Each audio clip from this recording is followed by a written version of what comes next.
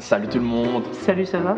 Ici le 1er avril. Ce n'est pas un poisson d'avril. L'association Oplart vous invite à un ciné-débat. Exactement. Oui, sur le thème de la discrimination. Oui, Au 23 rue du Lazaret à Strasbourg. à l'espace 23. À l'espace 23, bien entendu. Venez nombreux, on vous aime. On vous aime, ciao Venez nombreux à 14h30 découvrir mon spectacle des sketchs animaliers inspirés des fables de La Fontaine. À bientôt, salut Vous qui êtes amateur du cinéma, vous qui aimez les débats, venez, on va en discuter. À très vite